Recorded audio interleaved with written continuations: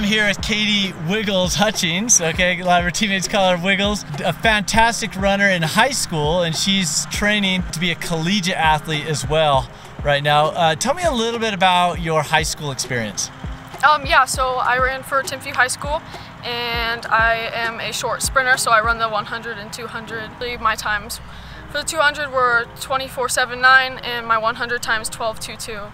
I'm here with MacGyver Clark, coach of Timpview High School and founder of AlphaPeak. You know, the interview that you did with uh, Katie Hutchins, or what we, we call Wiggles, um, you know, she failed to mention that she was the Utah 5A state champion in the 200 meter this year you know, she talked about her times and she's so humble, but you know, she forgot to mention that she's the state champ.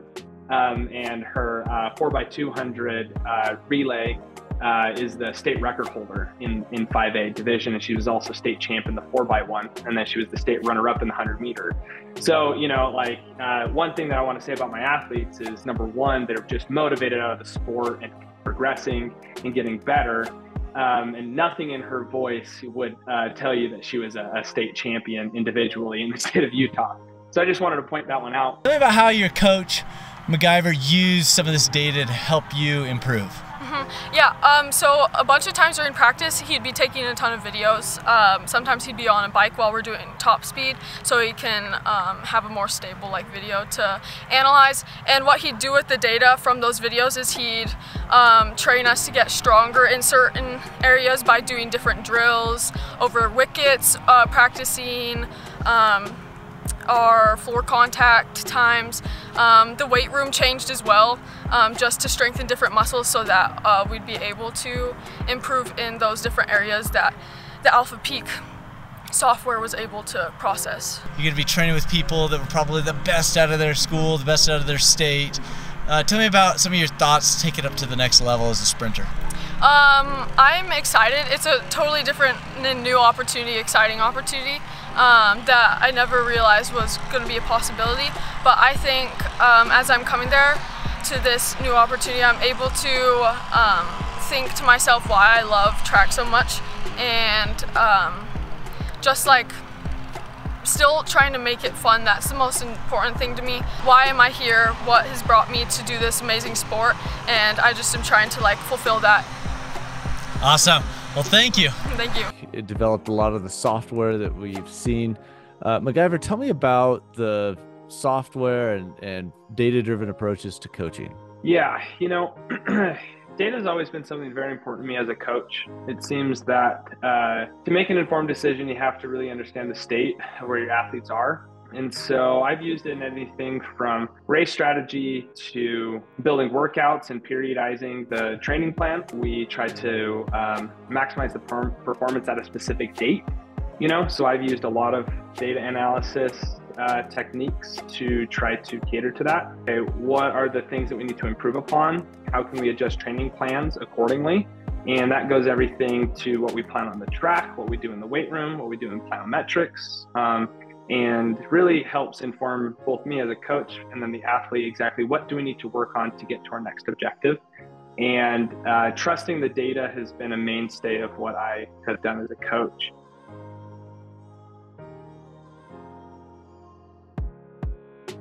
Started the season at 11-8. Um, you know, a lot of ups and downs during the season, but I had a really good coach, MacGyver, and you know, he got me to a um, really good time. And eventually, to the end of the season, I ran sub 11, and you know, I didn't think I was gonna hit sub 11, but you know, sometimes you surprise yourself, and luckily I did. And so yeah, had a good season. okay, so you started out at 11.8, is that right? Yes. And then what was your final time for the season? 10.95. 10.95. Okay, so you yeah. went under 11.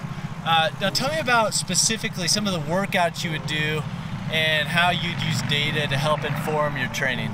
Yeah, so you know, I would.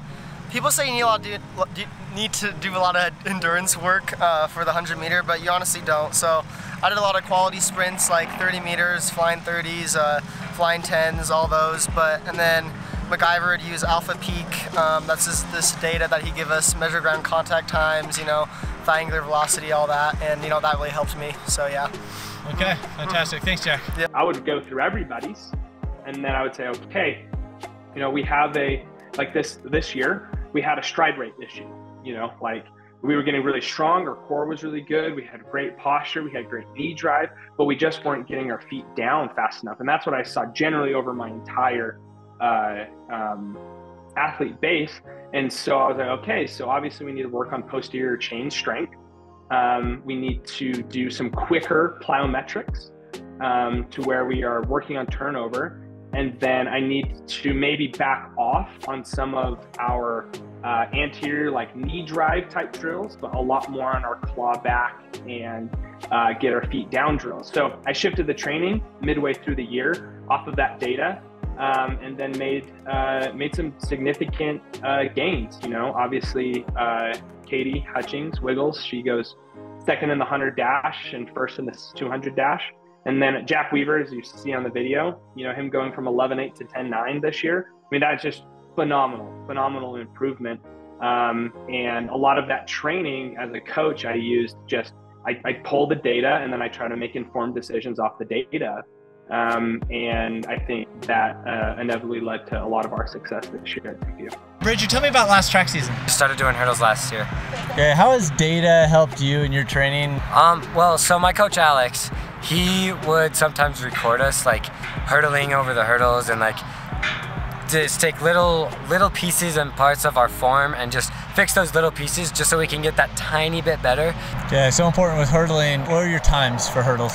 Um, so I started the year off with a 46 in the 300 hurdles, and then I ended the season with a 41. Ooh, big Um, improvement. yeah, um, my coach Alex is awesome. He got me down to I placed eighth in state in finals, and it was just a really great hurdling year. Caleb, tell me about this last track season. Uh, I mean, it was my sophomore year, so I just kind of still getting used to everything pretty much. We had a pretty crazy girls team. They won by like 100 points or something like that. But yeah, so honestly, my training's been kind of just whatever MacGyver was telling me to do at the time. I kind of started changing some things up at the end when I started training with Jack and whatnot. Okay, tell me about data and how data and analysis, like how did you use that as part of your training? Um, so yeah, what we do is we had, we set up a bunch of wickets and he'd film us going over them and get every analysis of the form and whatnot. So, you know, start of the year, my first 100 was uh, 12-2, and then end of the year I went 11-6. So, you know, just measuring everything, ground contact times, knee drive, you know, cycling, just everything basically. So you just run that through the AI, got little things to work on here and there, and then just improved it as we went along. When you looked at some of those reports, what was your uh, reaction? It's like, oh yeah, that's something I can do better, or Uh, "Oh, it's off." yeah, no, it was like, yeah, I, lots of them I was like, I knew I needed to improve on. And then some of them was like, oh, I didn't know I need to improve on that that much. But yeah, it helped helped a lot for sure.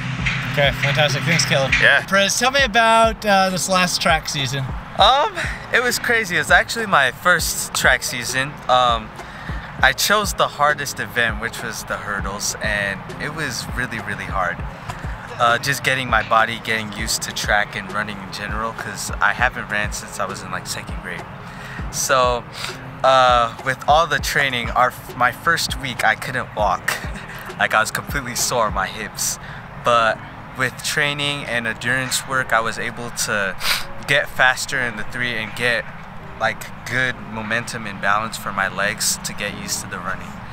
But I couldn't finish the season how I wanted to because of my shin splints. So, Yeah.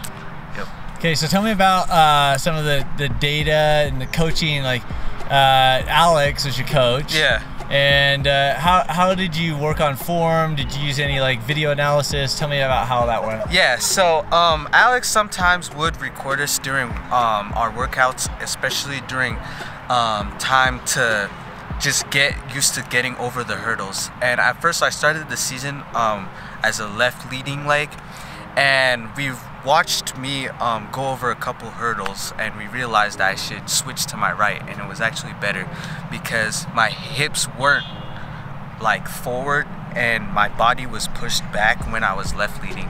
But when we watched it on video, it's better for my right leg to be my lead leg. So Okay, fantastic. Well, thank you, Prince. thank So you take the analysis, right? A video, you run it through the software, and that's really good. But also, just as a coach, um, I'm watching them every day. And so, you know, I have anecdotal analysis of what uh, what I, I, I see just with my eyes. And so, what I would do is I would take every athlete aside and I would talk to them. You know, I'd hold it up. I have either my phone or iPad, and I'd say, uh, "Okay, so you know, uh, this is what we need to work on. Your last couple races have been this. Um, this is what our analysis says. This is like the one thing that I think that we need to work on with you. We need to get our hips up higher, right? We need to get up on the balls of our feet more, get our hips up higher, be lighter on our feet to minimize that ground contact time. A lot of that is core strength, right? So then I would tell the athlete, okay, so in our weight training, main thing I want you to focus on are the core exercises. So whether whether that is the toes to bar or the the bar rollouts or um, the 10 minute core that we do every day after practice, it's like that. I need you to nail it. I need you to, to be obsessive about it. You know, and if we get cut short or something, those are the exercises you do not skip. And so it would kind of go into into that where we would see what needed to be improved upon and then, you know, most of the time to adapt any sort of sprint training is you need to get stronger in some aspect. And so then we'd go to uh, mostly, you know, the foundation is the weight room, right? Like that's my foundation as a sprint program is the weight room. We start in the weight room. Everything starts in the weight room. And so, you know, we need to get our core stronger. And so then we hit the weight room, we hit the core after, every day after practice. We hit core 10 minutes of core every day after practice, no negotiation. It was pretty, pretty strong. We get really strong cores. Um, and then, you know, we'd apply that for the next month. And then we would test again. And obviously, we'll have races down the line and we see how we're improving. Um, you know, specifically for uh, uh, Katie Hutchins, what I realized was she was overstriding. So as she, uh, um, tried to get up to that top speed, you could see that her, you know, like speed curve, she would get up really fast, but then she wouldn't really be able to hold it. She would go down.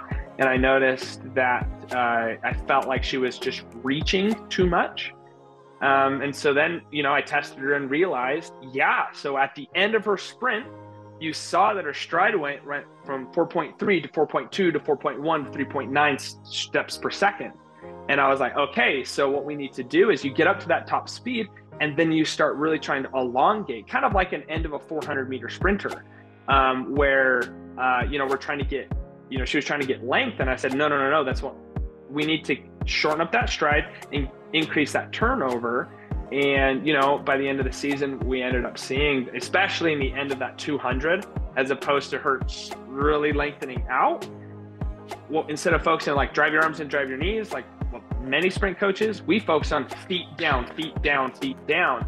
Um, and so, so yeah, the personalization, it goes everything from, you know, her getting a lot more eccentric hamstring exercises, a lot more glute and a lot more hip explosion. You know, we try to increase her power clean and hang clean and snatch. We try to get her a lot stronger in the weight room.